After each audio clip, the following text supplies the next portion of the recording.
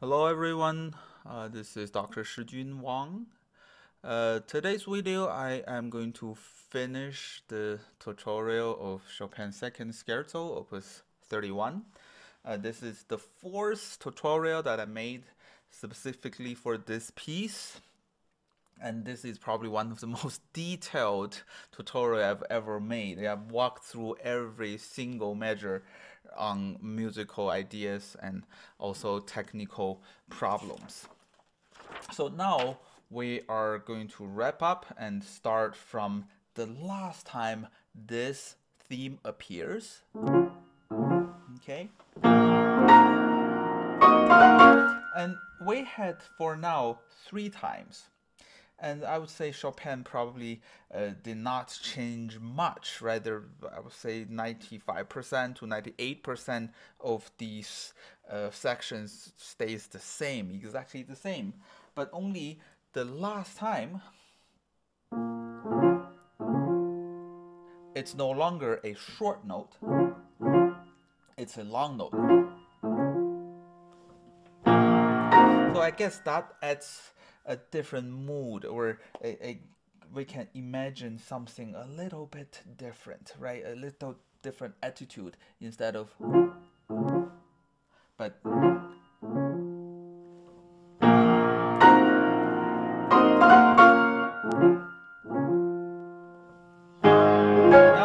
somehow to me um, that prolonged notes that you're holding for two uh, two measures somehow makes the question mark even sounds more doubtful okay?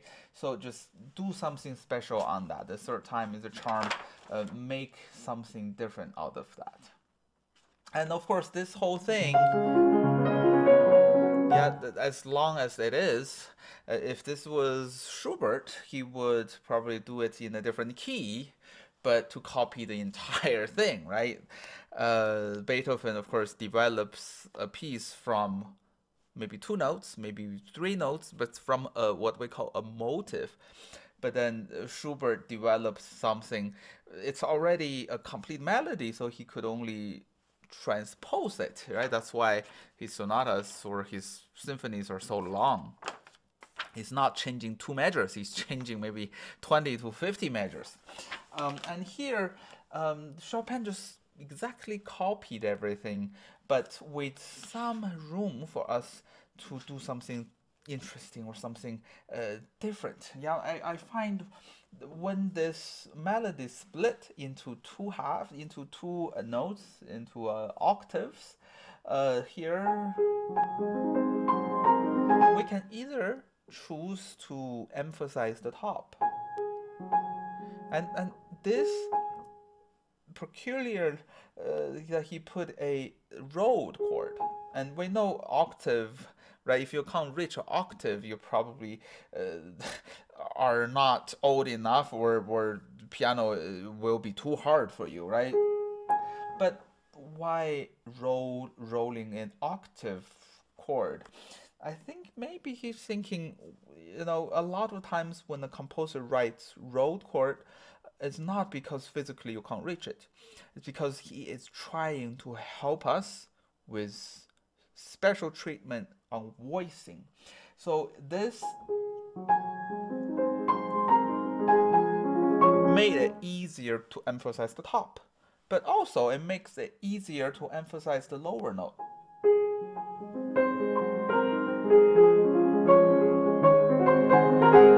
So of course we can choose to, to do it differently the third time or even the second time this thing appears. Yeah, so bring a different voice, bring a separate voice. Um, not to surprise people, but to to show the differences of, of voicing. Um, and the real change comes in uh, on measure 697 um, before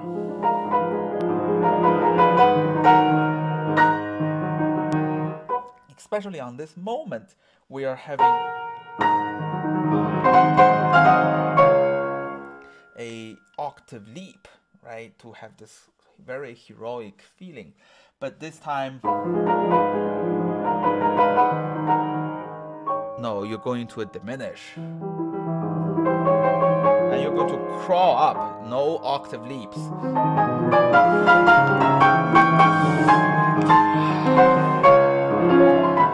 But this really doesn't start right on measure 697. It started five measures before that.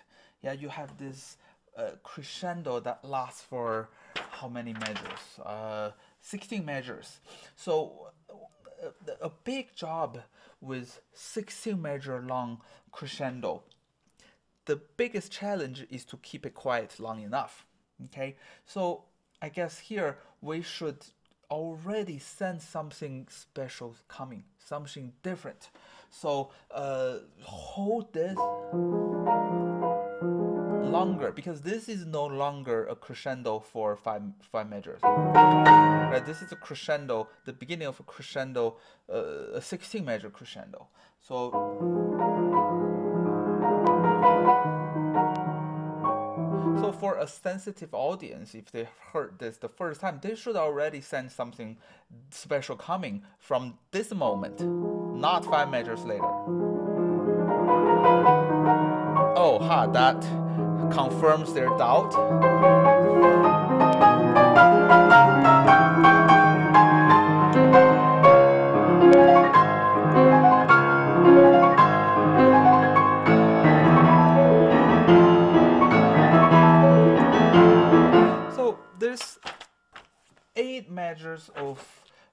Sharp key. Yeah, that's a quite a abrupt interruption.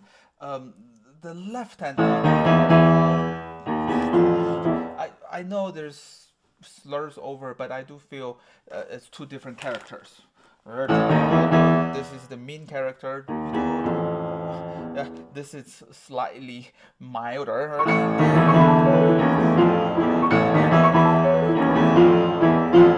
And here.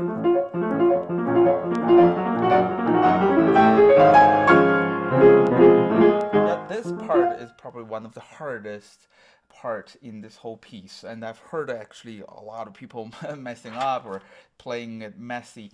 Um, two things that I suggest. Number one, keep it quiet as long as you can. It's another long crescendo, right? It lasts for seven measures um, and lift and bass is quite low and it has octaves. Um, so if we start with pounding these, nobody would ever hear a crescendo. And if you're just pounding seven measures in a row, we will lose interest probably by the third measure. So really crucial to keep it quiet and also to make this this left hand two note slur a one single hand or arm movement right? I've heard different people saying the same thing but from different angle from different ways. Someone says down up. Yeah that's the most common. Down up. And someone says in out. In and out. Yeah. And i've used the um, check mark uh, example. So almost like you're writing a check mark, but you're really not separating them into two motion, but one. Okay, so which means the last one really is not uh, significant enough for a separate bowl. Yeah. And also constantly keep it moving if you stop moving, then you have to, like a car, you have to take longer and more energy to let it move again. So I, I guess for here, I would argue um, left hand is constantly drawing a circle. Yeah, drawing a circle. And even when I'm playing this note, my arm never cease to move, never, like never to linger or to stop on that note. For the right hand, um, this hand position, right? Of course, you need to learn how to get to the next hand position very quickly, but also again like this. If you locate the new hand position with your second finger.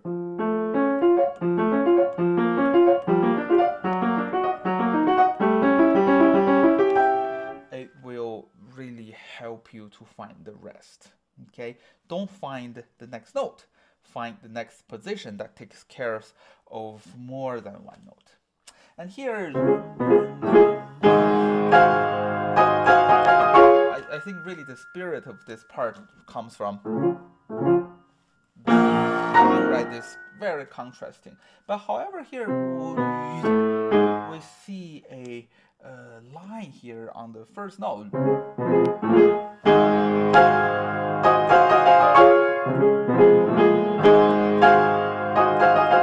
and then be quiet and a little slower.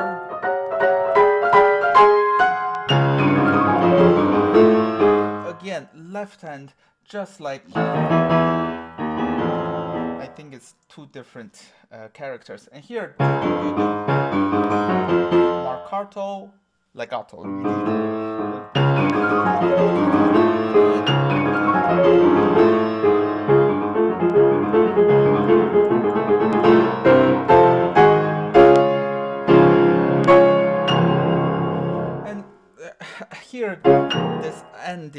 of course is hard and uh, after 11 minutes of playing this and it's already uh, getting to the point that you're tired but you're emotionally excited and how can you keep a very cool head and to aim this? Um, first of all we can never split our eyeballs right? One takes care of the left and one takes care of the right hand. Um, and it's too risky to play without looking Um, so my way is I aim my left hand first, but then after I know where my left hand, hand uh, note is, I aim for the right hand. So you might see me doing this very quickly. But then I'm really aiming both just very, very quickly to aim the left hand and then have all the tension on, on the top. Because if I were to choose uh, which one is more important, I guess this really is unsettling. So I would rather have a quick look and then and also left hand has an octave. So you have two fingers to find this position but then this is just one so I guess it's more risky. Okay so um, this is really this whole series is a new experiment uh, I guess for for each version, and I usually upload two, one in Chinese, my native tongue, uh, one in English. But I think in each language, I spend at least an hour on this piece, and and I really like this new format. I think it helps the students to watch it while they practice. There are most of the suggestions I pro provide are really to help you to practice. So the, my next project uh, would be the four ballads and summer is approaching and I will have more time to spend on my own learning, my own studying and practicing. So I will in very recent times uh, start working on Chopin's first ballad and then number four, the two hard ones, and then I will wrap them up with number three and number two. Again, if you have questions regarding to these pieces, don't hesitate to contact me or to leave your message or to reply uh, under this video for your feedbacks. And if you want me to comment on your playing, uh, don't hesitate to email me your short clips. Then um, in the near future, I will be making a, uh, a video uh, commenting or helping on the uh, videos that I've received from my viewer. Thank you again for watching and for your continuous uh, support on my video. Um, your comments, your views, and your discussion are the reason I kept doing this and it means a lot uh, for me to hear your uh, suggestions and comments. Uh, I will see you next week. Uh, thank you for